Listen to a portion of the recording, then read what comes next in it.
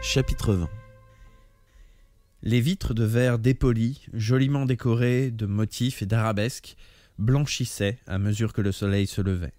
Déjà, le haut de la fenêtre, que les rayons atteignaient directement, semblait rutilé de lumière.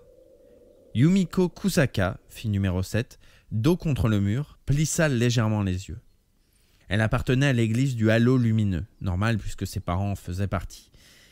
On en avait déjà décidé pour elle avant sa naissance. Elle se rappelait la phrase que lui sérinait à longueur de journée le bonze de son quartier. La lumière du matin vient à nous chaque jour que Dieu fait et apporte sa bénédiction à toutes les créatures de l'univers. Ah ouais, tu parles. Je devrais rendre grâce à Dieu de m'avoir donné la chance de participer à un jeu aussi passionnant, se dit-elle en esquissant un sourire. Puis, berçant légèrement ses cheveux coupés à la garçonne, elle jeta un regard sur Yukiko Kitano, fille numéro 6, également adossée au mur, dans sa couverture, à côté d'elle. L'instant d'avant, les yeux dans le vague, Yukiko regardait elle aussi grandir petit à petit sur le parquet, la zone éclairée par le soleil. Malgré le nom pompeux inscrit à l'entrée, l'office du tourisme de l'île d'Okishima était terne et nu comme une vulgaire salle de réunion de conseil de village. Une fois descendu les marches de l'entrée, on trouvait un simple bureau accompagné d'une chaise et d'une armoire à classement. Un téléphone était posé sur le bureau. Elles avaient bien décroché dans l'espoir d'appeler le dehors, mais ainsi que les avait prévenus Sakamoshi, il n'y avait aucune tonalité. Le meuble de rangement entrebâillé laissait voir deux ou trois prospectus pour des voyages organisés, apparemment pas très folichons du reste. Yukiko Kitano et Yumiko Kusaka avaient beau ne pas avoir toujours été dans la même classe, ni voisines à proprement parler, leur amitié remontait à l'école maternelle. En fait, c'était là encore par l'intermédiaire de l'église du halo lumineux qu'elles s'étaient rencontrées pour la première fois, dans ce temple que fréquentaient leurs parents. Yumiko devait venir pour la troisième fois déjà, mais pour Yukiko cela devait être la première, car elle parut impressionnée par l'atmosphère prétentieuse du temple et par le son du gong dont le bonze s'accompagnait pour réciter les formules rituelles. Yumiko s'était alors approchée de cette fille seule, abandonnée par ses parents, partie après la prière pour régler une affaire quelconque. C'est complètement dingue ici, tu ne trouves pas? lui avait-elle dit. L'autre fille avait paru un peu interloquée sur le coup, puis avait souri. C'est ainsi que tout avait commencé. Elle ne s'était plus quittée depuis. À vrai dire, mis à part leur similitude en matière de prénoms, elles n'avaient presque aucun point en commun. Dès sa plus tendre enfance, Yumiko avait fait preuve de dynamisme et d'énergie, au point que les gens la trouvaient un peu garçon manqué. D'ailleurs, dans l'équipe de club de softball, on la mettait souvent quatrième batteuse. L'équipe comptait sur sa force et ses aptitudes physiques pour conclure la partie. Mais aurait-elle un jour l'occasion de rejouer au softball?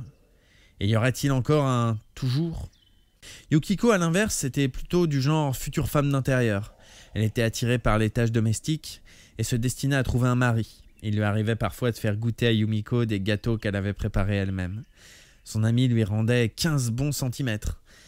Elle lui disait souvent combien elle enviait sa taille et sa minceur, ses traits bien typés, alors que de son côté, Yumiko admirait l'aspect menu et les joues pleines de Yukiko qui lui semblaient empreintes de douceur et bien plus attirantes que les siennes. Ainsi étaient-elles chacune d'une nature aussi différente que possible, ce qui ne les empêchait pas d'être soudées, et ce depuis le début. Leur chance, si l'on peut dire, avait été la mort d'entrée de jeu de Kininobu Yoshitoki, garçon numéro 7. Un raisonnement qui semblait presque blasphématoire envers le pauvre garçon, mais il fallait bien avouer que cela avait permis à Yumiko et Yukiko de quitter la classe à deux minutes d'intervalle à peine. Quand Yumiko était sortie à son tour, son ami, pâle comme un linge, était là à l'attendre derrière un pilier près de la sortie. Ainsi, elles avaient pu s'enfuir ensemble. Quand, à peine vingt minutes plus tard, Akamatsu Yoshio était revenu sur ses pas pour inaugurer la série de crimes, toutes deux n'en avaient rien su. Elles avaient déjà trouvé refuge dans le bâtiment isolé qu'elles occupaient encore à présent, sur une hauteur, légèrement en retrait de la route, au nord du hameau. Elles s'y étaient cloîtrées, fermant soigneusement la porte à clé. Plus de quatre heures s'étaient écoulées. Rompues de fatigue du reste de l'extrême tension des dernières heures, elles étaient restées assises à même le sol, côte à côte, sans bouger. Yumiko quitta des yeux Yukiko pour se replonger dans la contemplation du parquet. Elle avait beau avoir le cerveau nébuleux, elle réfléchissait depuis un bon moment. Quelle décision prendre maintenant? Que devait-elle faire? L'annonce de Sakamoshi à 6 heures du matin avait été audible depuis l'intérieur du bâtiment. Neuf élèves étaient morts déjà. En plus de Kininobu Yoshitoki et de Fumio Fujiyoshi. Difficile de croire que tous s'étaient suicidés, mis à part euh, Sakura Ogawa et Kazuhiko Yamamoto éventuellement. Il fallait donc admettre qu'un ou plusieurs élèves de cette classe s'étaient mis à tuer certains de leurs camarades. Peut-être qu'en cet instant même, quelqu'un était en train de mourir. D'ailleurs, il leur semblait bien qu'un coup de feu avait résonné au loin, juste après l'annonce de 6 heures. Comment peut-on tuer ses camarades de classe? Certes, cette règle leur avait été imposée, mais Yumiko n'arrivait pas à croire qu'il existait quelqu'un capable de jouer le jeu. Et pourtant, oui, et pourtant. Si elle se retrouvait face à quelqu'un qui en voulait à sa vie, elle pouvait s'imaginer passer à l'acte, elle aussi. Et si elle en était capable, tout le monde le pouvait, non? Yumiko jeta un coup d'œil sur le mégaphone apparemment abandonné dans un coin de la salle. Était-il en marche? Et si oui, s'il était utilisable, ne pouvait-elle pas le mettre à profit? La peur seule l'empêchait de s'en servir.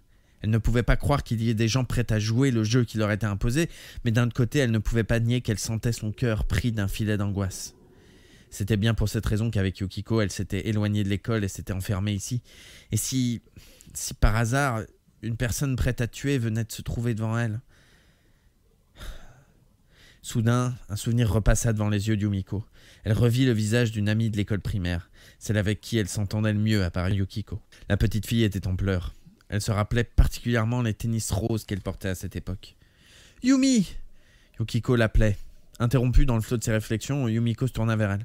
Mangeons quelque chose, dit Yukiko en souriant. On a du pain, mangeons. C'est pas en restant le ventre vide qu'on va trouver une solution. Sa décontraction semblait certes un rien forcé, mais c'était tout de même bien son doux sourire habituel. Tu ne crois pas insista Yukiko? Si, tu as raison, répondit Yumiko en lui rendant son sourire. Toutes deux sortirent de leur sac à dos du pain et une bouteille d'eau. Le regard de Yumiko se figea sur les deux objets pareils à des sortes de boîtes de conserve qui se trouvaient dans son sac. D'une couleur vert métallisé, elles étaient munies d'une espèce de tige de la grosseur d'une cigarette qui saillissait hors de chaque boîte. Un levier et un anneau en métal de 3 cm de diamètre y étaient fixés. Sans doute des grenades à main. Yukiko, elle, trouva dans son sac un jeu de fléchettes.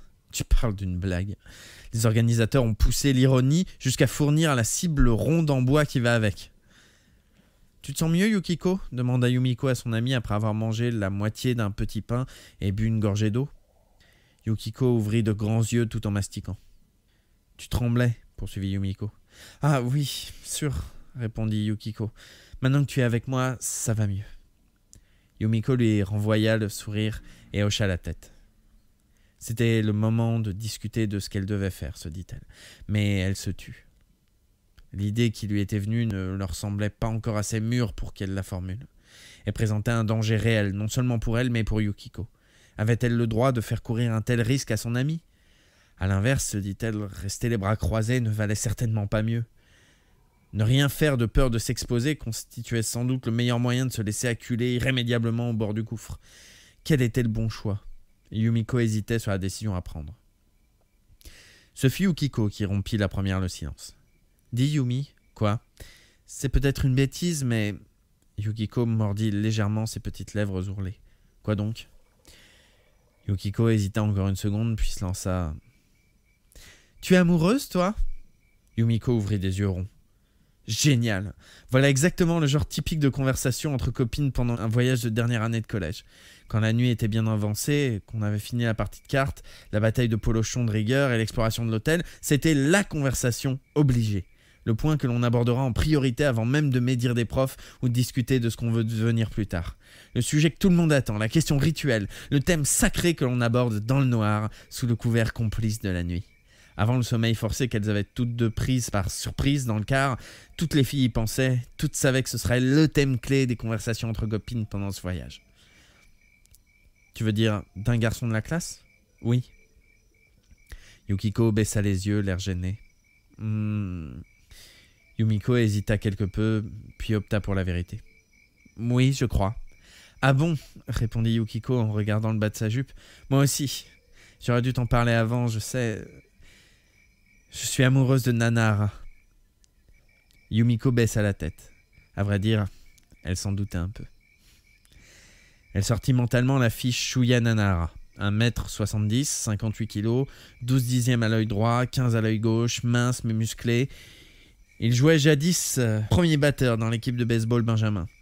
Maintenant, il a arrêté le baseball et se passionne pour la musique. Il joue super bien de la guitare et c'est un excellent chanteur. Il n'a pas de surnom à proprement parler, mais certains lui ont donné un nom de code. Wild Seven. Wild comme wild card, le dernier atout, le dernier ressort de l'équipe quand il jouait au baseball et qu'il pouvait à lui seul renverser la vapeur si le match ne se présentait pas bien. Seven, évidemment, vient de son nom, Nanahara, qui veut dire les sept plaines. Et tout ça en un clin d'œil à la célèbre marque de cigarettes Wild Seven. Groupe sanguin B, anniversaire le 13 octobre, en accord avec son prénom qui signifie le garçon de l'automne. Il a perdu ses parents quand il était petit. Il habite maintenant à la Maison de la Charité, l'orphelinat catholique situé aux confins de Shiroiwa. Kininobu Yoshitoki, mon dieu, dire qu'il est mort maintenant, y habitait aussi. C'était le meilleur ami de Shuya. Pour ce qui est des études, il est dans la moyenne par rapport au reste de la classe, plutôt doué pour les matières littéraires, l'anglais le japonais. Côté visage, la courbe de ses lèvres était assez particulière, mais ses grands yeux bien débridés renvoient un regard affectueux et doux. Bref, il est assez craquant. Ses cheveux ondulés lui retombent sur la nuque comme ceux d'une fille. Les données concernant Shuya Nanahara sont assez complètes. Yumiko jurerait même qu'elle sait plus de choses à son propos que Yukiko. Pour elle, la donnée primordiale était la taille de Shuya, car elle se dit depuis longtemps que s'il ne grandit pas plus, elle devra renoncer à porter des talons hauts pour ne pas être plus grande que lui quand ils marcheront côte à côte. Sauf que Yukiko a avoué la première qu'elle était amoureuse de lui. À partir de là, comment Yumiko pourrait-elle parler sincèrement de ses propres sentiments?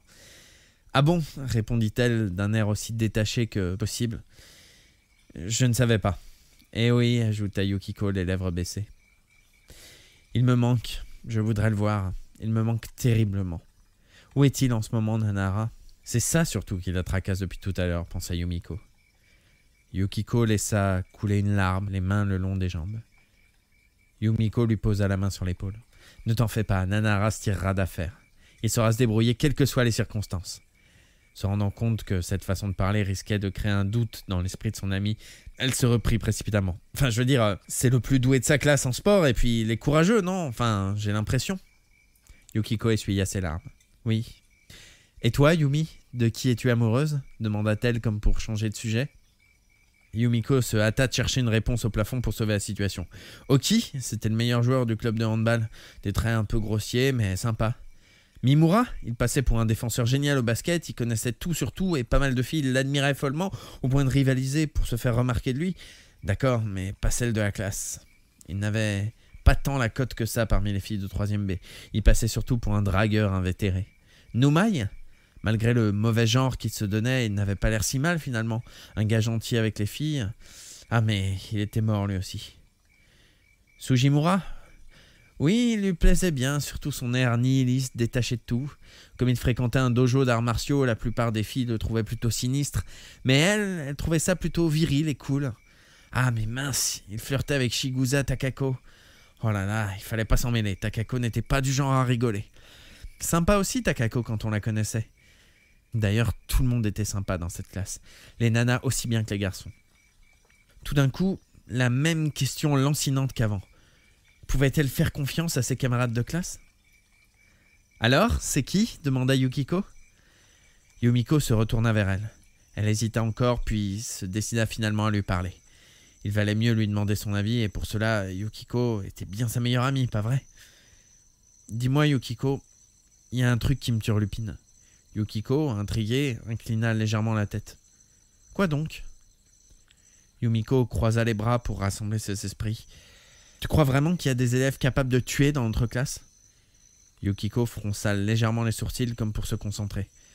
Ben, tu sais, il y a déjà de vrais morts. Sa voix avait tremblé sur le dernier mot. Tu as entendu comme moi l'annonce de ce matin, n'est-ce pas? Déjà neuf depuis le début. J'ai du mal à croire qu'ils se soient tous suicidés. Et puis tout à l'heure, on a entendu une sorte de coup de feu, non? Yumiko regarda le visage de son ami qui inclinait la tête, les deux paumes ouvertes. Ce faisant, elle remarqua un petit accroc à la manche gauche de son uniforme. On est toutes les deux mortes de peur, pas vrai? Oui. Eh bien, si tu veux mon avis, tous les autres sont dans le même cas. Nous sommes tous morts de peur. Tu ne crois pas? Yukiko réfléchit un instant. Tu as peut-être raison, Et puis moi, depuis le début, j'ai tellement peur que je n'arrive pas à penser à autre chose. On a plutôt de la chance d'avoir pu partir comme ça, ensemble. Si on était partis chacun de notre côté, ça n'aurait pas été de la peur, mais de la panique. Sûrement, oui. Imagine-toi toute seule et paniquée. Tu tombes face à face avec quelqu'un, comment tu réagirais, Yukiko? Ah, je m'enfuirais, bien sûr. Et si tu n'avais pas le temps? Yukiko réfléchit un moment, puis répondit lentement Sans doute que je me défendrais. Si je tenais quelque chose en main, je le jetterais à la figure de la personne. Et si j'avais un revolver ou quelque chose comme ça, je m'en servirais peut-être. Enfin, j'essaierai de discuter d'abord, bien sûr, mais si la situation m'y oblige. Yumiko acquiesça de la tête. Ça tombe sous le sens, hein. Eh bien, j'ai réfléchi, et je me dis qu'en fait, au fond de nous, personne n'a envie de tuer.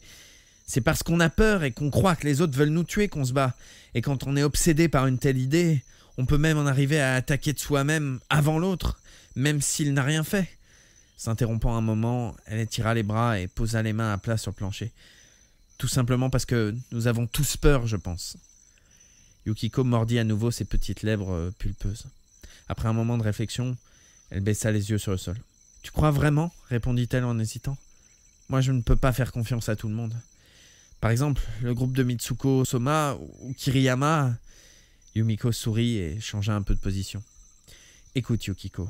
Oui Si on reste comme ça, caché, on mourra tôt ou tard de toute façon. Que ce soit à la fin des trois jours ou parce que personne n'a succombé pendant 24 heures, de toute manière, on va nous tuer. La frayeur réapparut sur le visage de Yukiko. Oui, c'est vrai. Alors la seule chose qu'on peut faire, toi et moi, c'est d'essayer de réunir les autres pour tous ensemble trouver un moyen de nous évader d'ici. D'accord, mais laisse-moi finir.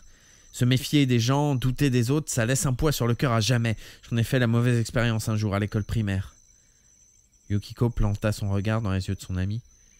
Il t'est arrivé quelque chose? Yumiko leva les yeux au plafond. Le visage en pleurs de son ancien ami lui revint en mémoire. C'était Nice Rose aussi. J'étais folle des coq minous à l'époque, tu te rappelles? C'était à la mode. Oui, oui, le personnage de dessin animé. Moi aussi, j'avais un sous-main en plastique coq minou pour mon cahier. Oui, c'est ça. Moi, j'avais un stylo bille trois couleurs, une édition limitée. Quand j'y repense, c'était qu'une babiole, mais à l'époque, j'y tenais plus que tout.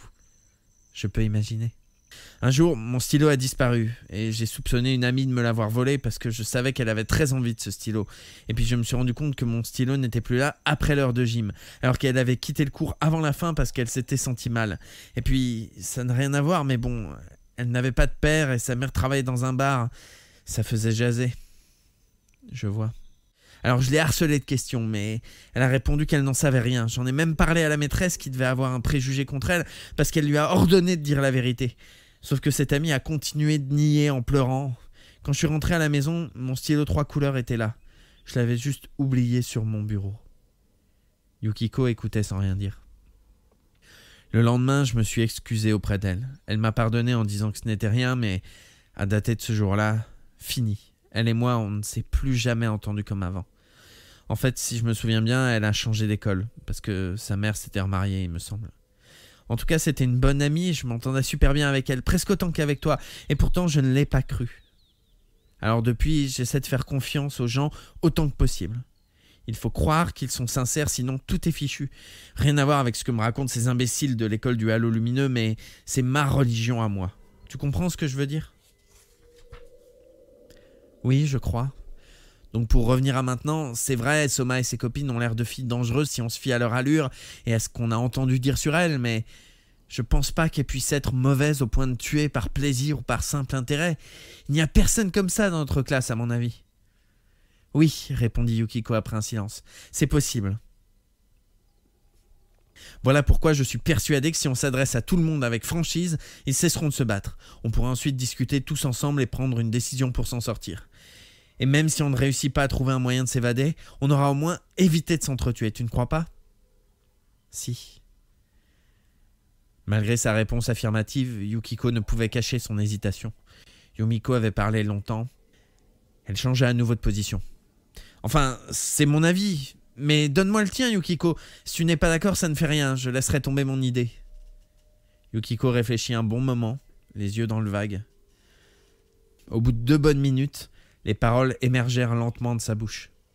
Yumi, un jour, tu as dit que j'accordais trop d'importance à l'opinion des autres. Tu te souviens? Ah oui, j'ai dit ça Yumiko leva les yeux vers son ami. Leurs regards se croisèrent. Yukiko sourit. Je crois que tu as raison. Ton idée est la bonne, je le crois. Yumiko lui rendit son sourire. Merci. Yukiko fut surtout heureuse que Yumi en soit venue à cette conclusion d'elle-même. Ça la conforta dans son point de vue. Oui, maintenant il fallait passer à l'acte. L'inacceptable serait de mourir sans avoir rien tenté. Tant qu'il existait une petite chance, il fallait essayer, car comme elle venait de le dire, elle voulait croire à la sincérité des gens et agir en accord avec ses principes. Mais comment faire pour réunir tout le monde lança Yumi. Yumiko lui montra du doigt le mégaphone abandonné dans un coin de la pièce. Évidemment, tout dépend s'il fonctionne. Yukiko hocha plusieurs fois la tête, puis leva les yeux au plafond. Si ça marche, je pourrais revoir Nanahara Yumiko acquiesça de la tête. Oui. Je suis sûr que nous le reverrons. Reste 29. Chapitre 21 Bon, c'est fait Kawada jeta le fil et l'aiguille de son sac à dos et se tourna vers Shuya. Repasse-moi ton whisky, Nanara. Noriko put enfin étendre sa jambe droite. Les lèvres de sa blessure au mollet étaient maintenant refermées, suturées par un gros fil de coton. Kawada avait bien œuvré.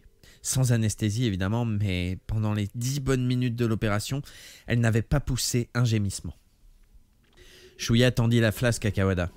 À proximité, de l'eau bouillait dans une bouteille de bière posée sur un petit feu à charbon de bois entouré de quelques pierres. Kawada s'était procuré le charbon de bois comme le fil et l'aiguille à la droguerie. Cette eau bouillante lui avait servi à désinfecter fil et aiguille, mais puisqu'il n'était pas question d'en verser directement sur la plaie, il avait désinfecté cette dernière au whisky avant de commencer. Il la désinfecta de nouveau. L'opération maintenant terminée. Noriko, qui commençait à peine à se remettre de ce charcutage, dut à nouveau serrer les dents. Chouya regarda sa montre. L'eau avait mis du temps à atteindre l'ébullition. Il était déjà 8 heures passées. C'est bon, dit Kawada en appliquant une guise de gaz, un bandana plié désinfecté dans l'eau bouillante au préalable. Après quoi, comme l'avait fait Shuya précédemment, il improvisa rapidement un bandage par-dessus, autour du mollet de Noriko, avec un deuxième bandana. Et voilà le travail, ma petite dame Il ajouta d'un air un peu inquiet, espérant quand même qu'aucun microbe n'ait rentré là-dedans. Noriko replia sa jambe. Merci, t'es vraiment adroit. Bah, j'ai toujours aimé jouer au docteur avec les filles, répondit Kawada en sortant un paquet de Wild Seven de sa poche. Il en tira une cigarette qu'il alluma avec un briquet jetable à 100 yens. Ces cigarettes, les avait-il aussi piquées à la droguerie ou étaient-elles sur lui depuis le début? C'était une marque très populaire, comme les Buster ou les High Night. Chouya resta les yeux fixés sur le dessin du paquet de cigarettes, un motard sur une grosse bécane. Peut-être parce que cette marque lui servait de surnom, lui qui n'en avait jamais eu de vrai. L'explication d'un tel nom de code était simple. À l'époque, quand il jouait au baseball en équipe Benjamin, il était toujours l'atout surprise de l'équipe sur lequel on pouvait compter pour marquer des points au moment crucial. Quand il était en déplacement chez un club adverse, et même si le batteur suivant ne parvenait pas à frapper, il se débrouillait pour voler une base en prenant le lanceur par surprise. Une saison, il avait réussi à marquer un total de 3 points de cette façon, une sorte de record dans son genre. Un jour en défense, il avait vraiment sauvé la mise en éliminant deux adversaires par un magnifique double play. Il lui arrivait aussi de laisser sa position à un autre joueur de l'équipe pour prendre celle du lanceur quand le titulaire fatiguait. Oui, il était souvent le dernier recours, capable de se distinguer à tous les postes. Nanahara, les sept plaines. Wild des sept plaines. Wild Seven. Tu piges mon pote? En quatrième, il se trouvait déjà dans la même classe que le fameux génie de la défense du club de basket Shinji Mimura, lequel avait lui aussi un surnom, le troisième homme. Mimura le devait à un épisode survenu pendant un match de la saison précédente. L'entraîneur l'avait fait entrer 5 minutes avant la fin du match alors qu'il était remplaçant d'un défenseur remplaçant. Troisième homme donc. Grâce à lui, les gars de l'équipe du collège de Shiroiwa avaient remonté plus de 20 points de retard sur leurs adversaires, les favoris du championnat départemental. À compter de ce jour, Mimura avait été titulaire et le club était devenu sans conteste la coqueluche de la discipline. C'est l'impulsion qu'il avait su donner à son équipe lors de ce premier match qui lui avait valu son surnom, lui aussi par référence à son nom de famille, Mimura, les trois villages.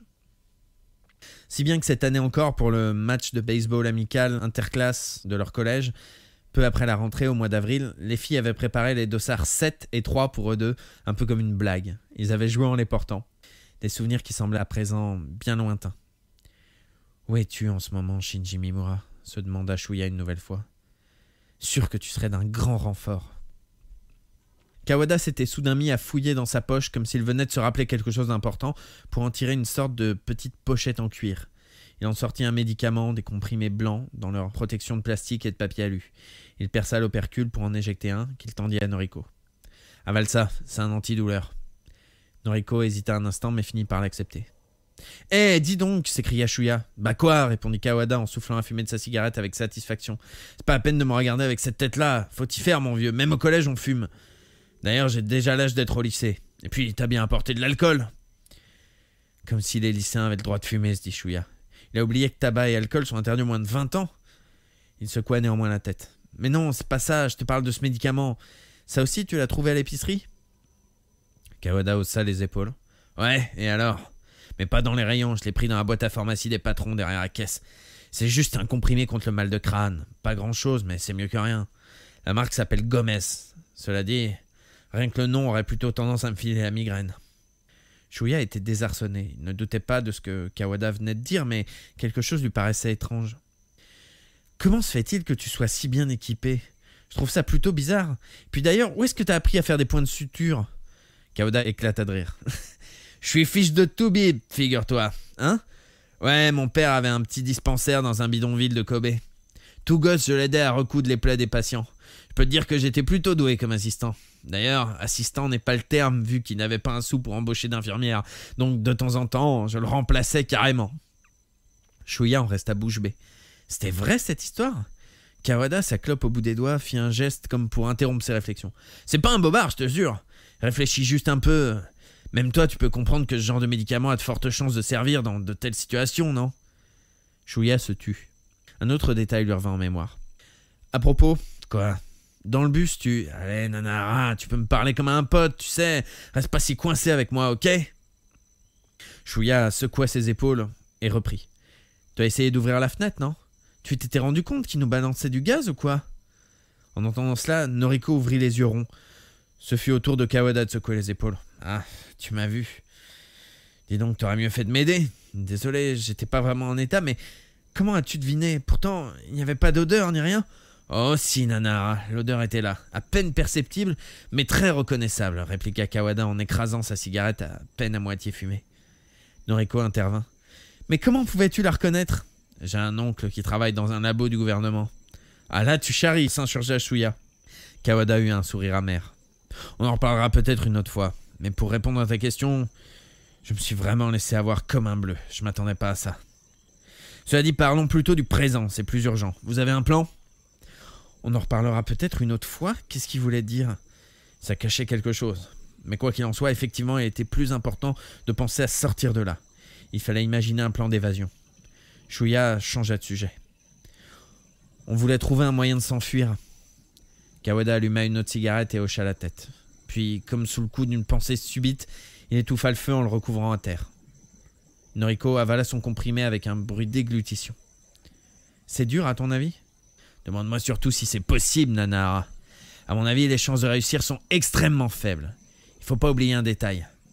Ce truc-ci demanda Chouya en touchant l'objet qu'ils avaient tous les trois autour du cou. Tu veux dire qu'à cause de ce collier, même si on s'enfuit, on sera tout de suite repéré, c'est ça? Effectivement. Et on ne peut pas non plus s'approcher de l'école. Le secteur qui englobe cette école devient zone interdite à compter de maintenant, avait dit Sakamoshi. Plus exactement, cet enfoiré avait déclaré J'ai le plaisir de vous annoncer que le secteur qui entoure cette école est déclaré zone interdite à compter de maintenant. On dit merci qui? Sale connard. Oui, c'est ça. Mais si on trouve un moyen de faire sortir Sakamoshi et ses sous de l'école, on pourra les prendre en otage et exiger qu'ils débloquent les colliers. Ouais. Et ensuite répondit Kawada en haussant les sourcils. Shuya sécha la salive à la commissure de ses lèvres. Bah ensuite, euh, oui, c'est ça, il faudrait d'abord trouver un bateau pour nous enfuir en emmenant le prof avec nous. En même temps qu'il expliquait son idée, Chouya réalisa que ce plan n'avait presque aucune chance de succès. À vrai dire, on pouvait même pas appeler ça un plan. Il n'avait pas la moindre idée de la façon dont on pouvait obliger Sakamoshi à sortir de l'école. C'est tout Shuya a dû le reconnaître d'un signe de tête. Kawada tira une bouffée de sa cigarette. Pour commencer, il n'y a pas de bateau. Shuya se mordit la lèvre. Qu'est-ce que t'en sais? Kawada esquissa un sourire et expira la fumée. Je vous ai bien dit que j'étais allé à la droguerie à côté du port, tu te rappelles? Il n'y avait pas un bateau, pas un. Même les barques déglinguées qu'on tire en général sur la grève ont tout été ôtés. Ces types-là ne bâclent pas le boulot. Alors on pourrait prendre un des bateaux de surveillance, puisqu'on aura Sakamoshi en otage. Absolument impossible, Nanara. T'as vu combien il y a de gars des forces d'intervention rapide? Et puis, euh, Kawada montra du doigt le collier argenté qui lui ceinturait le cou. Ils peuvent faire exploser ces colliers par télécommande où que nous soyons, même en dehors des zones interdites. Il leur suffit de choisir qui et quand. On est vraiment mal barré. Et d'ailleurs, en admettant que ton projet réussisse, je te parie que le gouvernement n'hésiterait pas une seule seconde à sacrifier Sakamoshi. Shuya ne trouva rien à répliquer. Pas d'autres idées? demanda Kawada. Non, répondit-il en secouant la tête. Et toi, Noriko? Non, mais rappelle-toi, on se demandait s'il était possible de réunir tout le monde, ou au moins ceux à qui on peut faire confiance pour échanger des idées. Peut-être qu'un bon plan en sortirait. Mais oui, voilà ce qu'il avait oublié de dire.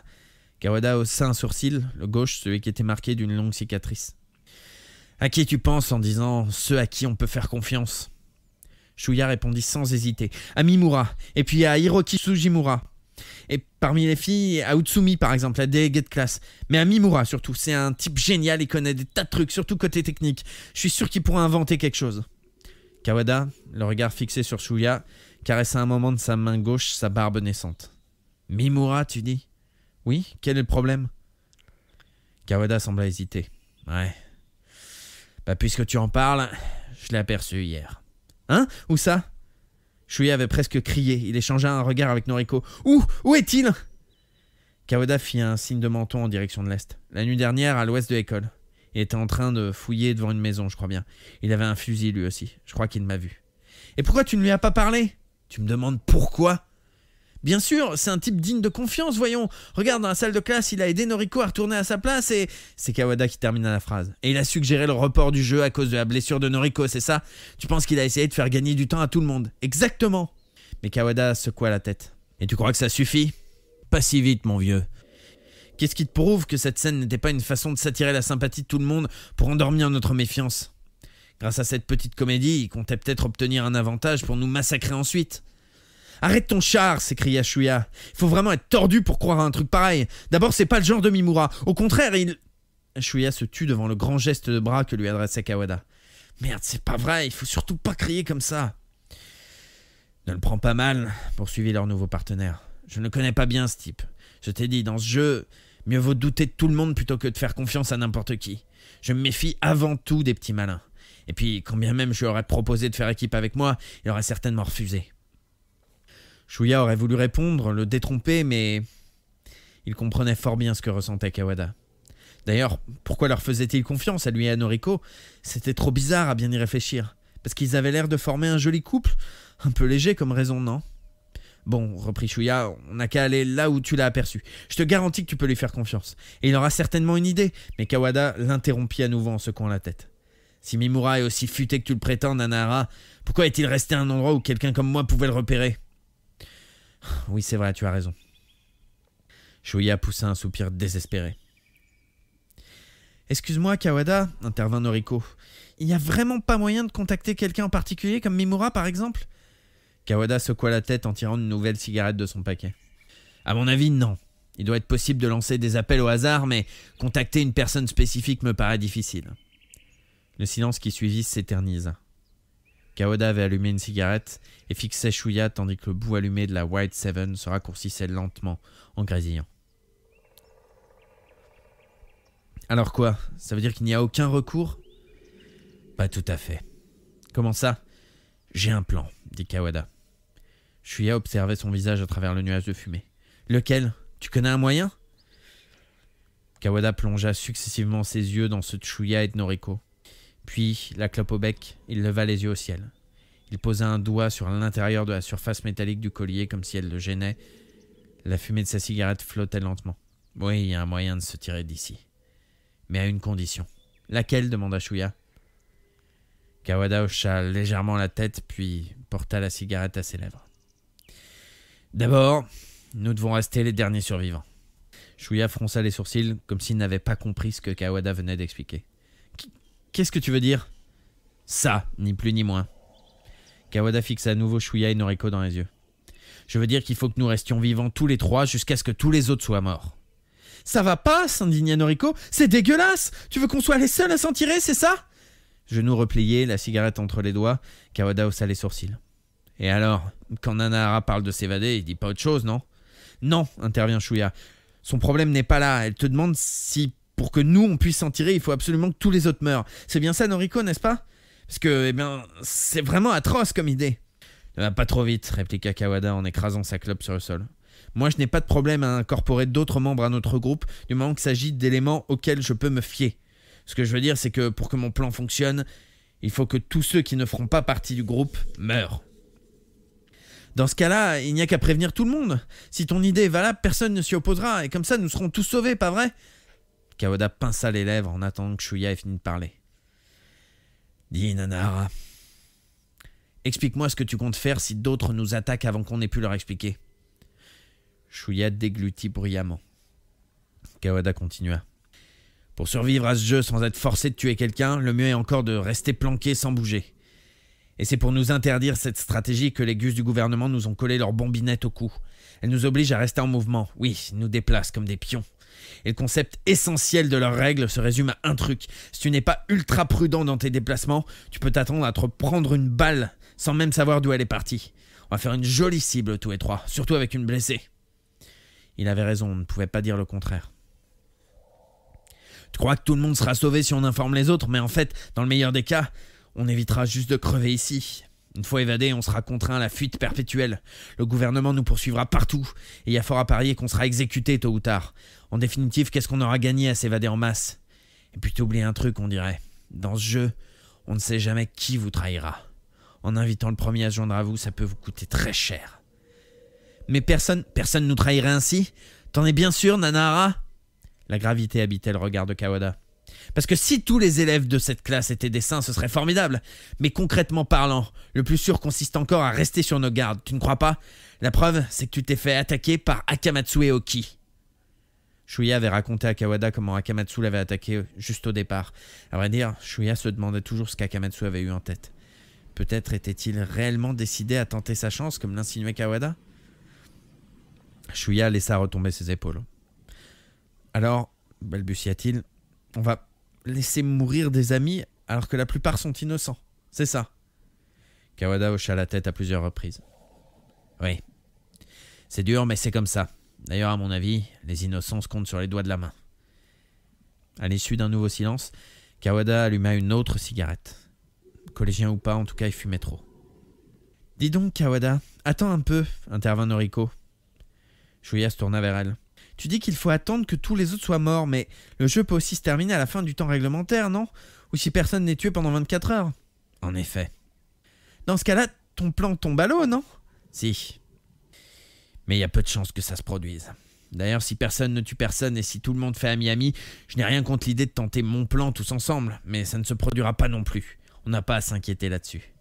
J'ai entendu dire que sur la totalité des programmes déjà organisés dans tout le pays, à peine 0,25% s'était achevé à l'extinction du temps réglementaire. Tu as entendu dire coupa Chouya, les lèvres pincées. Où ça? Kaoda arrêta de nouveau Chouya en haussant les deux mains. T'emballe pas, mon vieux, c'est pas le sujet. On doit discuter de choses plus importantes, tu ne crois pas? Vous ne m'avez même pas encore demandé en quoi consiste mon plan à moi. Shuya attendit un instant que Kawada parle de lui-même, mais devant son silence, il se résolut à poser la question. Bon alors, c'est quoi? Kawada haussa les épaules. Je peux pas te le dire, répondit-il du bout des lèvres à la clope au bec. Shuya fronça les sourcils. Quoi? Pas maintenant. Et pourquoi ça? Parce que. Et alors quand est-ce que tu pourras? Quand il ne restera plus que nous trois.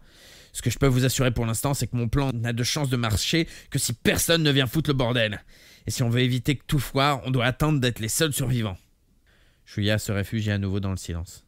Il fixait Kawada qui continuait à fumer quand, très loin dans sa tête, une voix se fit entendre. Murmure quasi imperceptible. Kawada sourit comme s'il avait lui-même entendu cette voix. Je sais ce que tu penses, Nanahara. On peut envisager une hypothèse tout à fait différente. En vous promettant de vous faire évader avec moi, je m'assure votre aide pour survivre, mais en réalité, il n'y a pas de plan, j'ai pas l'intention de m'évader, et quand il restera plus que nous trois, j'aurai beau jeu de vous descendre pour rester le seul vainqueur. C'est ce que tu te dis, pas vrai? Quand que j'aurais tout à gagner à vous faire croire qu'un plan existe et que je peux pas vous le dire tant que d'autres sont en vie. Shuya pris une expression troublée. Je n'ai jamais pensé à ça. Je me trompe. Julia jeta un coup d'œil à Noriko. Elle garda les yeux fixés sur Kawada, les lèvres closes. Non, ce n'est pas à ça que je pensais, reprit Shuya. Mais il dut s'interrompre de nouveau. Il entendait bien une voix, une voix très lointaine, mais indéniablement là. Une voix teintée de sonorité électrique. Bonjour à toutes, bonjour à tous, disait la voix. Reste 29. Chapitre 22. C'est la voix de Yumiko s'écria Noriko. Kusaka Yumiko, fille numéro 7, une grande brinque dynamique et sportive, la meilleure batteuse du club de softball féminin. Je vais jeter un œil, lança Kawada, la mine soudain assez tendue. Il se leva, le fusil à pompe à la main, et prit vers l'est tout en restant à couvert en direction de la voie. Nous venons avec toi, annonça Shuya. Il n'avait pas fini de débattre, mais tant pis. Le Smith et Wesson passaient dans la ceinture de son pantalon. Il prêta son épaule à Noriko pour l'aider à se lever. Kawada se retourna un instant, puis reprit sa marche sans rien dire. Arrivé au bout du fourré, il s'arrêta, imité par Noriko et Shuya. Les imbéciles murmura-t-il sans se retourner. L'ayant rejoint d'un pas, Shuya et Noriko passèrent la tête hors du fourré. Parmi les quelques arbres épars du sommet de la montagne nord, on apercevait une sorte de belvédère. Du fait de sa situation surélevée, on distinguait très clairement, malgré la distance de 5 ou 600 mètres, les deux silhouettes qui se tenaient devant un simple abri constitué d'un toit rudimentaire posé sur quatre billets en bois et dépourvu de murs. La voix poursuivit. Écoutez tous, cessons de nous battre Venez tous nous rejoindre L'une des silhouettes, la plus grande, sans doute Yumiko Kusaka, tenait quelque chose devant son visage. Un mégaphone, pensa Shuya. Oui, sans doute un de ceux qu'utilisait la police, par exemple pour interpeller un cambrioleur pris sur le fait et retranché dans un bâtiment. Ça conférait un côté ridicule à la scène, comme si le message était en réalité Hé, vous là-bas, abandonnez toute résistance, vous êtes cernés Néanmoins, il tombait sous le sens qu'avec cet appareil, les messages seraient audibles non seulement de l'endroit où se tenaient Shuya et les deux autres, mais aussi depuis la majorité de l'île. Qui est avec elle? murmura Shuya. C'est Yukiko, Yukiko Kitano, répondit Noriko. Elles s'entendent super bien, rien d'étonnant à ce qu'elles soient ensemble. Ouais, intervint Kawada avec une moue amère. Mais ce qu'elles font là, ça craint. Si elles continuent, elles vont se faire descendre. Elles forment une cible géniale. Shuya se mordit la lèvre et réfléchit un instant. Yumiko et Yukiko tentaient à l'évidence de convaincre tout le monde de cesser le combat. Elles partaient du principe que personne n'était motivé pour jouer le jeu. Elles accomplissaient exactement ce que lui-même avait imaginé mettre en œuvre en sortant de la classe en tout début de partie. Il y avait renoncé après avoir été attaqué par Yoshio Akamatsu. De leur côté, elles avaient choisi ce lieu en hauteur pour convier les autres élèves à se réunir, de façon à être vues du plus grand nombre possible. Leur exposition donnant la mesure de leur bonne foi, ou peut-être tout simplement parce que le hasard avait voulu qu'elles se retrouvent à proximité dès le début. On se doute bien que vous n'avez aucune intention de vous entretuer, alors on vous invite à venir nous rejoindre ici. Shuya hésita. Il voulait avant toute décision se faire une idée claire de la situation, et aussi terminer sa discussion avec Kawada, parce que bon, si Kawada était un ennemi, finalement il choisit de s'adresser à lui. Kawada, tu peux m'attendre ici avec Noriko? Qu'est-ce que tu vas faire? demanda Kawada. Je vais aller les voir. Kawada fronça les sourcils. Tu es malade ou quoi? Sa réaction énerva quelque peu Shuya. Pourtant, il prit sur lui d'argumenter objectivement. Pourquoi pas? Elles s'exposent au danger, elles n'ont aucune intention de tenter leur chance à ce jeu. Je pense que nous pourrions les rejoindre. D'ailleurs, tu l'as dit toi-même tout à l'heure, elles risquent de se faire descendre, il faut les protéger. Je te parle pas de ça, répliqua Kawada avec un rictus. Une pensée inopportune effleura l'esprit de Shuya à cet instant. Kawada avait de grandes dents solides, des dents de carnassier, pleines de force et de santé. Je te l'ai déjà dit, poursuivit Kawada, le mieux est de rester ici sans bouger. Quelle distance y a-t-il d'ici à là-bas d'après toi? Comment sais-tu que tu ne rencontreras personne en chemin? D'accord, mais tu ne comprends donc rien à rien Écoute-moi bien, maintenant, tout le monde sait où se trouvent ces deux filles. Quelqu'un pense sans doute déjà en profiter pour les descendre comme des pigeons. Ce sont des cibles tellement idéales que ce mec ou cette nana pourrait bien aller jusqu'à attendre qu'un crétin dans ton genre se pointe le bec enfariné, histoire de faire un troisième carton. Le ton extrêmement froid de Kawada, plutôt que le sens de ses paroles, fit frissonner Shuya. Je vous en prie, venez nous rejoindre, reprit la voix. On est deux, vous voyez bien qu'on vous menace en rien, on n'a aucune envie de se battre.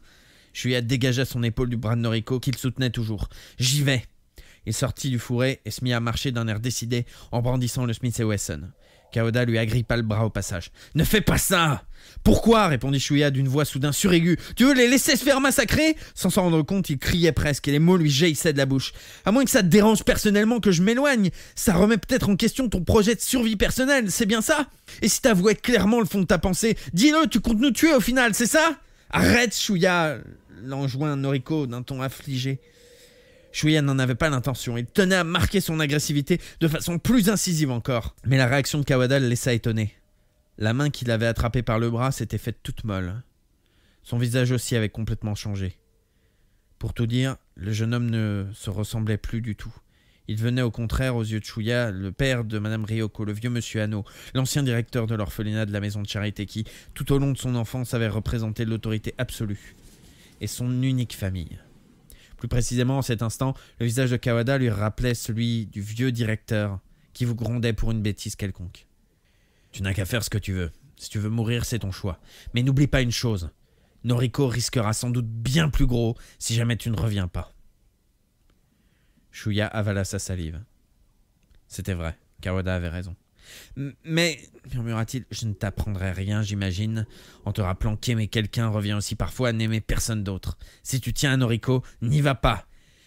Mais quel recours on a? Tu comptes laisser Yumiko et Yukiko se faire trucider sans rien faire? J'ai pas dit ça. Lâchant le bras de Shuya, Kawada se tourna vers le sommet nord d'où Yumiko et Yukiko continuaient d'appeler au cessez-le-feu général. Il braqua son fusil à pompe dans leur direction. Je vais prendre un petit risque pour elle. Je vais mettre en danger notre propre sécurité. Enfin, pas tant que ça, mais... Sans prévenir, il tira un coup de fusil en l'air. La détonation avait été si violente et si proche que Chouya crut avoir les tympans déchirés. L'écho de la déflagration se réverbéra sur le versant opposé de la montagne. Kawada réarma son fusil de sa main gauche, expulsant la douille vide. Il tira un deuxième coup de feu qui fit vibrer l'air alentour. Chouya avait compris. Ces tirs allaient sans doute effrayer les deux filles. Elles arrêteraient de crier à découvert dans leur porte-voix et se planqueraient. Vas-y, continue. Non, ça suffit. Il est déjà possible que d'autres personnes aient repéré notre cachette. Ce serait trop dangereux de tirer un troisième coup. Shuya braqua son Smith et Wesson en l'air. Kawada s'empara de nouveau de son bras. Ne m'oblige pas à me répéter. On a fait ce qu'on devait. À elle de se planquer le plus vite possible maintenant. Il nous reste qu'à leur souhaiter bonne chance. Shuya regarda à nouveau le sommet. La voix de Yukiko répétait Arrêtez Nous n'avons aucune raison de nous entretuer, réfléchissez Incapable de réprimer son impulsion, Shuya dégagea son bras de la main de Kawada. Il fallait leur faire comprendre coûte que coûte qu'elle devait se cacher au plus vite. Il posa son doigt sur la détente de son Smith et Wesson, bien décidé à tirer un coup de feu en l'air. C'était une véritable pétarade qui explosa dans l'air du matin, pareil à un bruit de machine à écrire. Le mégaphone transmit aussitôt le gémissement de douleur de Yumiko. Puis un cri aigu d'horreur, sans doute sorti de la bouche de Yukiko. Le haut-parleur devait vraiment être de bonne qualité car le second hurlement était assez amplifié pour que Shuya et ses compagnons le perçoivent très clairement. Au sommet, sous l'abri du belvédère, ils virent le corps de la plus grande des deux s'écrouler lentement, suivi du second cri de Yukiko. Yumi Puis un bruit de choc, celui du porte-voix tombant sur le sol. Le même bruit de machine à écrire s'est élevé plus tôt. Mais bien plus faible cette fois, beaucoup plus distant. Shuya compris que le mégaphone avait cessé de fonctionner. Il avait dû amplifier le bruit de la première salve. C'était au tour de la petite silhouette de Yukiko de s'affaisser et de disparaître dans l'ombre des buissons qui entouraient le belvédère. Shuya et Noriko étaient devenus pâles, comme des cachets d'aspirine. Reste 29. Chapitre 23 Yukiko Kitano rampait vers Yumiko Kusaka sur le sol en béton du belvédère. Une brûlure atroce perçait son abdomen et ses forces l'abandonnaient telle une eau qui se vide. Mais elle pouvait encore ramper. Elle laissait derrière elle un sillage rouge, comme tracé brutalement au pinceau sur le blanc sale du sol. Yumi s'écria-t-elle de nouveau. La brûlure dans son ventre s'était fait plus déchirante encore, mais ça lui était égal. Toutes ses préoccupations allaient vers son ami, tombé à quelques centimètres de là et qui ne bougeait plus. Yumiko était allongée sur le ventre, le visage tourné vers Yukiko mais les yeux fermés. Une épaisse mare rouge commençait à se répandre sous elle. Yukiko parvint à franchir les derniers centimètres qui la séparaient d'Yumi pour, dans un dernier effort, se soulever un peu en secouant les épaules de son ami. Yumi Yumi Des gouttelettes rouges apparurent soudain sur le visage de Yumiko, mais Yukiko ne s'apercevait pas que ce sang provenait de sa propre bouche. Yumi ouvrit les yeux et murmura Yukiko. Courage, Yumi Yumiko faisait la grimace. Supportant son horrible sensation de douleur, elle parvint à articuler Pardonne-moi, Yukiko. Mon idée était stupide, c'est ma faute. Vite, sauve-toi Non, ne perds pas courage, répondit Yukiko des larmes aux yeux. On va se sauver ensemble, vite Elle regarda rapidement autour d'elle sans voir personne. Celui ou celle qui leur avait tiré dessus devait l'avoir fait depuis un point assez éloigné. Vite, allons-y Elle tenta de soulever le corps de son ami, mais en vain. Se maintenir redressé lui était déjà extrêmement pénible. Une douleur plus aiguë que les autres lui fit pousser un gémissement et l'obligea elle aussi à s'avachir complètement par terre, la joue contre le sol. Elle avait néanmoins eu le réflexe de garder le visage tourné vers celui de son ami. Le visage de Yumiko se trouvait à quelques centimètres du sien. Elle distinguait ses yeux comme engourdis ou endormis qui l'observaient. Tu ne peux plus bouger? demanda Yumiko d'une voix faible. Non, répondit Yukiko, en se forçant à mouvoir les muscles de son visage pour sourire. J'ai bien peur que non. Excuse-moi, c'est ma faute, dit encore une fois Yumiko. Pas grave, on a juste fait ce qu'on pouvait. Hein. Yukiko remarqua que son ami était au bord des larmes. Par contre, sa propre perception devenait de plus en plus lointaine et brumeuse. Une lourdeur gagnait ses paupières. Pourtant, elle n'avait pas l'impression d'être blessée trop gravement. Yukiko? La voix de son ami la ramena à la réalité. Oui Il y a quelque chose que je n'ai pas pu te dire tout à l'heure. Quoi? Yumiko sourit brièvement. Moi aussi, c'est Nanara dont je suis amoureuse. Un bref instant, Yukiko ne comprit pas ce que venait de raconter son ami, sans doute parce que cet aveu était trop surprenant, à moins que ses nerfs auditifs n'aient déjà cessé de fonctionner. Puis finalement, le sens de ses paroles finit par rentrer en elle en cognant à la porte de son cœur. Tiens, elle ne s'en était pas doutée. À la surface de son esprit, de plus en plus embrumée, remonta alors une scène. Elles étaient allées faire du shopping en ville toutes les deux. Les boucles d'oreilles n'étaient qu'une babiole en solde de 3000 yens, mais très jolie. Il leur arrivait rarement d'avoir envie de la même chose, mais cette fois-là, ni l'une ni l'autre n'avaient voulu céder. Au bout du compte, elles avaient payé moitié-moitié afin de se les partager. C'est la première fois qu'elles achetaient un accessoire fantaisie. Encore aujourd'hui, Yukiko gardait cette précieuse boucle d'oreille au plus profond d'un tiroir de son bureau chez elle, dans sa maison des faubourgs, séparant Shiroiwa de la ville voisine. Elle se sentait très heureuse. Ainsi donc, elle qui avait toujours tout partagé, qui avait les mêmes goûts en matière de boucles d'oreilles, c'était vrai aussi pour les garçons finalement. Quelle étrangeté de se sentir heureuse en cet instant où elle était en train de mourir. Ah oui? Incroyable. Elle vit Yumiko sourire à nouveau. Yukiko tenta une nouvelle fois d'ouvrir la bouche. Peut-être aurait-elle eu le temps de dire encore quelque chose. Si elle n'avait pas compris grand-chose à la religion, l'église du halo lumineux lui avait en tout cas offert une chose irremplaçable. La présence de Yumiko. Depuis qu'elle s'était rencontrée dans cette secte, elle ne s'était plus quittée. Yumi, j'ai eu tant de bonheur grâce à... Avant qu'elle ait pu compléter sa phrase, un fracas assourdissant avait retenti. La tête de Yumiko fut prise d'un soubresaut. Le trou rouge qui n'y était pas à l'instant d'avant venait d'apparaître à sa tempe droite. Ses yeux semblaient à présent regarder quelque chose au loin, comme on regarde un paysage du haut d'un belvédère, ce qui, tout compte fait, correspondait bien à la situation. Yukiko resta bouche bée de frayeur et d'étonnement. Le même fracas s'éleva encore une fois, puis elle éprouva un choc, comme si elle recevait un coup de poing dans la tête. Ce fut sa dernière sensation. Kazuo Kiriyama, garçon numéro 6, accroupi pour ne pas risquer d'être repéré, se hâta d'abaisser le canon du Walter PPK. C'était celui de Mitsuru no mais il l'avait récupéré. Il fit de même avec les sacs à dos des deux filles. Reste 27. Chapitre 24 Après ces deux coups de feu isolés, Shuya comme Noriko demeuraient un instant incapable de faire un geste. Un Milan qui passait dans le ciel poussa un cri railleur. Kawada, qui semblait chercher partout des yeux quelque chose depuis un moment, fit demi-tour en pressant ses deux compagnons. C'est fini, on rentre. Shuya soutenait le bras de Noriko. Comme il levait la tête pour regarder Kawada dans les yeux, la colère explosa en lui. Comment ça, c'est fini? C'est tout ce que tu trouves à dire?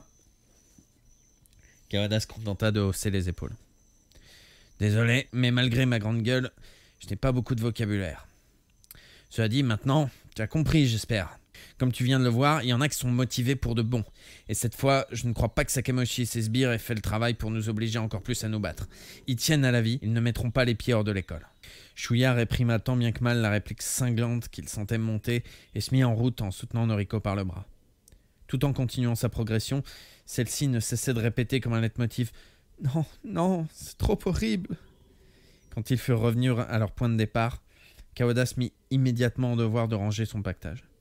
Qu'est-ce qu'on fait demanda Shuya. On se prépare. On va se déplacer d'environ 100 mètres, par précaution. Mais c'est toi qui as dit qu'il valait mieux ne pas changer d'endroit. Kaoda fit la moue en secouant la tête. T'as bien vu tout à l'heure. Ce type, je sais pas qui c'est, mais il tue de sang-froid. Et puis il est équipé d'un pistolet mitrailleur. Je suis sûr qu'il a déjà repéré notre position. On doit en changer. Au bout d'un instant de silence, il ajouta On bouge juste un poil. Reste 27. Chapitre 25 Yutaka Seto, garçon numéro 12, dévalait ventre à terre le flanc de la montagne. Ventre à terre au sens propre, on aurait presque pu dire qu'il rampait, car il tâchait de courir tout en restant le plus possible à ras du sol, sous le couvert des fourrés et des frondaisons. La terre et la poussière lui maculaient son uniforme noir, lui donnant un aspect grisâtre. De petite taille et de constitution presque chétive, Seto gardait dans son visage aux yeux ronds comme un zeste d'enfance. On le considérait en principe comme le blagueur en chef de la troisième baie, mais aujourd'hui c'était un rictus de frayeur et non un rire qui crispait le coin de ses lèvres. Au sortir de la salle de classe, il était venu se cacher parmi les fourrés de la montagne nord, autrement dit 50 mètres en contrebas du belvédère, depuis lequel Yumiko Kusaka et Yukiko Kitano venaient tenter d'appeler les autres dans leur mégaphone.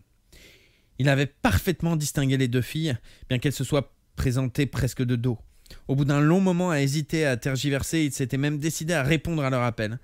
C'est alors qu'il s'apprêtait à se mettre à découvert pour les rejoindre que deux coups de feu avaient tonné au loin. À en juger par le son, il provenait de la zone située face aux filles, du côté de la montagne opposée au sien. Pendant qu'il se demandait s'il était bien prudent de quitter son abri, environ 10 ou 20 secondes après les premiers coups de feu, une rafale pareille à un bruit de machine à écrire avait résonné, en même temps qu'un cri de douleur amplifié par le haut-parleur. La deuxième fille n'avait pas tardé à prendre des pruneaux à son tour. Peut-être ses deux copines n'étaient-elles que blessées, pourtant il n'avait pas eu le courage de leur porter secours.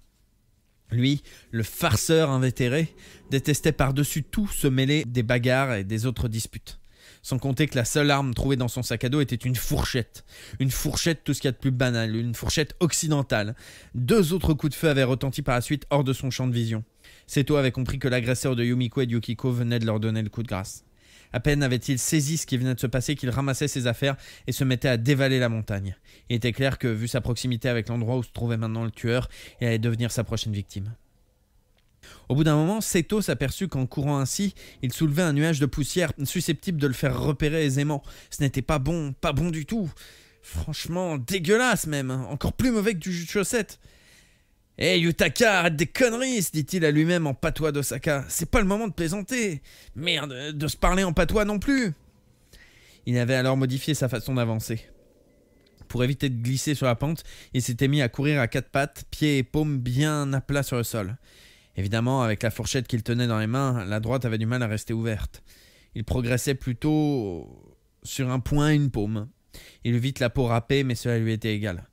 Ah, la touche que je me paye. Si quelqu'un me voyait dans cette position, il trouverait ça à mourir de rire. On dirait un chimpanzé, je te jure. Au bout de deux ou trois minutes, il s'arrêta pour se retourner, non sans crainte. Le sommet où Yumiko et Yukiko venaient de se faire descendre paraissait maintenant très éloigné, au milieu des arbres. Aucun mouvement, aucun bruit suspect. Tiens, on dirait que j'ai quand même réussi à semer le tueur. Tu as vu ça? Comme pour répondre à sa question intérieure, une main l'attrapa par le bras. Il laissa échapper un petit cri sous le coup de la panique. Arrête, petit con chuchota une voix tandis qu'une main se plaquait sur sa bouche. Mais ces mots n'avaient pas dû parvenir à ses oreilles affolées. Persuadé qu'il venait de se faire alpaguer par le tueur, il fit un grand geste un peu désordonné avec la fourchette dans sa main droite. Un petit bruit métallique s'éleva, puis plus rien. Yutaka se risqua à ouvrir un œil. Sur le sol devant lui, il reconnut sa propre ombre, avec euh, son col droit d'uniforme bien caractéristique, son haut du corps légèrement plié, une ombre qui passait un mauvais quart d'heure, semblait-il, car la forme d'un grand pistolet automatique était pointée sur sa tête. L'original devait donc être pointé sur lui-même. Pourtant, quelque chose de particulier relança le fonctionnement du cerveau de. Son agresseur portait l'arme dans sa main gauche. Or, la main qui semblait toujours lui bâillonner la bouche était une main droite, confirmant le fait que son agresseur était donc un gaucher. Dans le cas contraire, du reste, le coup de fourchette que Yutaka avait donné par-dessus son épaule gauche aurait pu faire une belle balafre à son agresseur, mais celui-ci était gaucher, et la fourchette n'avait trouvé que le canon du Beretta. Un gaucher Un gaucher non contrarié Il n'y en avait qu'un dans la classe de 3ème B. Merde, mais fais gaffe avec cette fourchette, Yutaka, c'est dangereux, quoi ses cheveux de devant repliés en épi avec une sorte de gel coiffant, ses sourcils formant une seule ligne bien droite remontant légèrement à chaque bout, ce regard à la fois pénétrant et plein d'humour, et bien sûr ce piercing à l'oreille gauche, c'était le troisième homme. Shinji Mimura, garçon numéro 19, le meilleur copain de Yutaka Seto en fait. Il sourit et il libéra Yutaka. Celui-ci ébahi abaissa lentement sa fourchette. Il n'eut pas le temps de se demander comment réagir qu'il s'entendait déjà dire, crier presque Shinji, assieds-toi Arrête, petit con répéta Shinji en jouant de nouveau du baillon manuel. Par ici, suis-moi sans faire de bruit. Sur quoi, précédant Yutaka, il l'entraîna au milieu des arbustes. Yutaka s'aperçut vite que le paysage de l'île, qui lui présentait jusque-là comme une perspective inégale, devenait maintenant plutôt plat. Autrement dit, en quelques minutes à peine, il venait de descendre d'une altitude de plusieurs centaines de mètres. Sous le coup d'un doute horrible, qui lui fit soudain flageoler sur ses jambes, il ramena son regard vers le dos de Shinji. Qui avait tué Yumiko Kusaka et Yukiko Kitano? Et si c'était Shinji? Et si c'était lui qui l'avait poursuivi quand il avait commencé à dévaler la montagne à quatre pattes? Non, impossible. Dans ce cas-là, pourquoi ne l'aurait-il pas déjà tué? Sauf qu'en réfléchissant mieux, ça pouvait s'expliquer. Shinji savait qu'il le considérait comme son meilleur ami. En profitant de cette confiance, il pouvait feindre de faire équipe avec lui, ce qui lui serait utile dans un premier temps pour survivre, par exemple en lui demandant de monter la garde pendant qu'il dormirait. Ensuite, lorsqu'il ne resterait que deux survivants, Shinji l'éliminerait. Une tactique très intelligente, effectivement. S'ils avaient été en plein jeu vidéo, lui-même n'aurait pas hésité une seconde. Mais je suis con ou quoi pensa Yutaka. Qu'est-ce que je vais chercher comme idée? Il se dépêcha d'effacer de son esprit ce produit de son imagination. D'ailleurs, Shinji ne portait pas de pistolet mitrailleur et c'était bien le bruit d'une arme de ce type qu'il avait entendu faucher les vies d'Yumiko et de Yukiko tout à l'heure. Sans compter que le Shinji qu'il connaissait, son meilleur ami, était incapable de tuer deux filles de sang-froid. De cela, il pouvait être certain. Mais qu'est-ce que tu fabriques, imbécile? chuchota de nouveau Shinji en se retournant. Allez, grouille Le cerveau engourdi, Yutaka continuait à le suivre sans se poser plus de questions. Shinji continua sa progression, quoique avec plus de lenteur et de prudence. Au bout de 50 mètres, il s'arrêta. De la main gauche, celle qui tenait le pistolet, il indiqua quelque chose à ses pieds. Yutaka remarqua un fin fil tendu horizontalement, dont la couleur se confondait avec la couleur neutre du sol. Fais bien attention en l'enjambant. Qu'est-ce que c'est? Une sorte de piège que j'ai installé, répondit Shinji. Si quelqu'un l'accroche, ça fait dégringoler un tas de canettes vides attachées à l'autre bout. Ça déclenche un bazar pas possible. Yutaka ouvrit de grands yeux ronds. Oui, ça, c'était du Shinji tout craché. L'ingéniosité du troisième homme ne se limitait donc pas au basket. Yutaka enjamba le fil. Vingt mètres plus loin, derrière un buisson plus touffu que les autres, Shinji lui fit signe de s'asseoir. Yutaka s'installa en face de lui. Il prit alors conscience qu'il tenait toujours sa fourchette dans son poing convulsivement serré. Ce fut aussi à cet instant qu'il s'aperçut avec une douleur soudaine dans sa paume gauche et sur ses phalanges droites que sa petite calopade à quatre pattes tout à l'heure lui avait arraché toute la peau au point de laisser apparaître la chair rouge. Shinji avait également remarqué les plaies de Yutaka. Posant le pistolet, il sortit de sous le fourré un sac à dos, sans doute celui qu'il avait pris pour le voyage. Il y pêcha une bouteille d'eau et une serviette dont il humecta l'un des coins. Tant tes mains, dit-il. Puis il nettoya délicatement les blessures de Yutaka sans trop appuyer. Une fois qu'il eut terminé, il déchira des morceaux secs de la serviette pour lui faire des poupées à chaque doigt. Yutaka le remercia. C'est donc ici que tu te caches, c'est ça? Shinji approuva de la tête. Je t'ai aperçu bouger dans les forêts, tu parles si je t'ai reconnu. Malgré la distance, impossible de se tromper. Alors je suis allé à ta rencontre même si c'était un peu dangereux de quitter mon abri. Ce récit émut Yutaka. Shinji avait donc pris un risque pour lui. Tu courais à tort et à travers, c'est plutôt dangereux. Oui, je sais. Merci, Shinji. Yutaka était presque au bord des larmes. Enfin, je suis content. Si je meurs, je serai content d'avoir pu te revoir. Il n'en fallut pas plus pour que deux larmes perlent à ses yeux, pour de vrai cette fois. Tout à l'heure, je me trouvais près de Kusaka et de Kitano, mais j'ai pas pu les sauver. Oui, répondit Shinji en hochant la tête. Je les ai vus moi aussi. D'ailleurs, c'est comme ça que je t'ai repéré. Ne te culpabilise pas trop, va. Moi non plus, j'ai pas pu les aider. Yutaka approuva d'un signe de tête. Il frissonna en se remémorant ce qui était arrivé aux deux filles au sommet de la montagne à peine quelques minutes plus tôt. Reste 27. Chapitre 26 Quand ils furent déplacés d'une centaine de mètres vers le sud-ouest, Kawada réinstalla son fameux fil d'alarme. Tout cela les mena jusqu'à 9 heures du matin passé. Le soleil brillait déjà dans le ciel. Les parfums des sous-bois embaumaient l'air en ce matin de mai. La mer aperçue tout à l'heure pendant leur déplacement entre les arbres resplendissait de tout son bleu roi. Plus loin encore s'égrenait le chapelet d'îles de la mer intérieure de Seto. Celle sur laquelle ils se trouvaient était vraiment idéale pour une excursion. Mais on ne les avait pas amenés ici pour goûter les beautés de la nature, évidemment. Sur la mer intérieure, les bateaux obligés de dévier leur route, de façon à rester éloignés de cette île, se réduisaient à de simples points à l'horizon. Un seul était visible à quelque distance, mais Shuya avait repéré une mitrailleuse installée à la proue. Quand il eut fini d'installer son fil, Kawada vint s'asseoir devant Shuya et Noriko. Il posa son fusil à pompe sur ses genoux en poussant un soupir. Qu'est-ce qui vous arrive? Vous êtes devenu muet ou quoi? demanda-t-il, comme aucun des deux n'ouvrait la bouche. Shuya laissa passer un instant de réflexion avant de demander Pourquoi elles ont fait ça d'après toi? Kusaka et Kitano? demanda Kawada. Shuya confirma de la tête. Il avait du mal à parler. Il poursuivit néanmoins. C'était couru d'avance, pas vrai? En tout cas, soupira-t-il, elles auraient dû prévoir le résultat puisque la règle du jeu est de nous entretuer. Ce dernier terme avait vraiment du mal à passer. Kaoda prit le temps de sortir une cigarette de son paquet et de l'allumer à la flamme de son briquet jetable. Elles étaient très amies, me semble. Et puis je crois qu'elles faisaient toutes deux partie d'une secte religieuse. Chouya acquiesça. En réalité, même si ces deux-là étaient tout à fait normales, tout à fait comme les autres filles de la classe, il y avait toujours eu entre elles et les autres, Noriko ou Yuki Utsumi par exemple, une sorte de distance. Leur appartenance à cette secte religieuse pouvait bien en être la cause. Oui, un truc s'appelle le halo lumineux ou quelque chose comme ça, commenta Shuya. Une secte proche du shintoïsme, je crois. Quand on entre à Shiroiwa par la nationale, qu'on longe les accotements de la rivière Yodo vers le nord, leur église se trouve par là. Bon, ouais, approuva Kaoda, ça explique tout. C'est bien des trucs religieux de dire euh, aimer votre prochain. Non, rien à voir, intervint Noriko. Elle disait souvent qu'elle n'était ni assidue ni fervente du temple, surtout Yumiko. Elle ne comprenait pas vraiment leurs préceptes, elle pratiquait uniquement pour leurs parents. Ah bon, répondit Kawada en baissant les yeux. Parce que en général, ce sont pas les bons qui sont sauvés. Dans la plupart des cas, ceux qui s'en tirent sont plutôt les gens capables de voir où souffle le vent. Moi, au contraire, j'apprécie les gens qui restent fidèles à leurs engagements et à leurs principes, même si tout le monde se fiche de leur avis, ou si leur façon de penser leur vôtre serait tamée. Redressant la tête, il fixa les deux compagnons droit dans les yeux.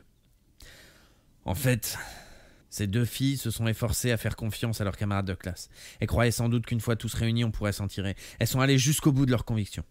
Moi je respecte ça. Chapeau bas. Elles ont osé ce que nous on n'ose pas. Chouya poussa un soupir. Oui, tu as raison. Il se retourna franchement vers Kawada. En fin de compte, je ne crois pas que tu sois notre ennemi. Je vais te faire confiance. Moi aussi, renchérit Noriko, je ne crois pas non plus que tu caches une idée sordide au fond de toi. Kawada répondit avec un petit rire. ouais, en tout cas, pas une fille. Shuya rendit son sourire à Kawada. Alors tu ne veux toujours pas nous expliquer ton idée? Si tu refuses de détailler ton plan d'évasion, je n'insisterai pas, mais tu pourrais au moins nous dire pourquoi tu n'en démords pas. Par exemple, si on tombait sur quelqu'un et qu'on lui crachait le morceau, est-ce que ça aurait des fâcheuses conséquences sur le plan lui-même? Ou est-ce parce que tu ne fais pas confiance aux gens? Tu n'as aucune considération pour le genre humain, c'est ça? Eh, arrête de poser toutes ces questions en même temps, j'ai pas assez de neurones pour te suivre, moi. Menteur, rétorqua Shuya. Kawada s'accouda sur ses genoux, cigarette au bec. Le menton dans les mains, il se détourna un moment, avant de ramener enfin son regard vers le centre de leur triangle. Tu vois, Nanara, si je peux pas vous parler de mon plan, c'est exactement à cause de ce que tu viens de dire. Je ne veux pas que d'autres que nous l'apprennent, et même si vous saviez tenir votre langue, je ne veux pas que quelqu'un sache que vous connaissez mon idée. Voilà pourquoi je tiens à ce que vous ne sachiez rien. Shuya prit à nouveau quelques secondes de réflexion, pendant lesquelles il échangea quelques regards avec Noriko, puis il se tourna vers Kawada et exprima son consentement d'un signe de tête. Entendu, c'est d'accord, on te fait confiance. Mais quand même, quelque chose te gêne Non, ce que je veux dire, c'est que A priori, il est impossible de concevoir un plan d'évasion dans notre situation, non? Pas étonnant que je trouve ça très difficile à croire, coupa Kawada. Shuya hocha la tête. Kawada éteignit sa cigarette en l'écrasant sur le sol, poussa un soupir et se gratta la tête. Tu sais, il n'existe rien de parfait. Il y a des trous partout. Des trous? Oui, disons des lacunes. Moi, ce sont ces points faibles que je vise et j'essaye de saper la terre autour. Shuya plissa les yeux, incapable de deviner le sens que donnait Kawada à cette métaphore équivoque.